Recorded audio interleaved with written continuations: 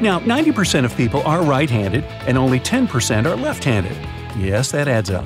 But there's also a very small percentage of those who can use both hands equally well, including writing, drawing, and doing any tasks. Naturally ambidextrous people account for only 1% of the entire population, which is about 70 million people.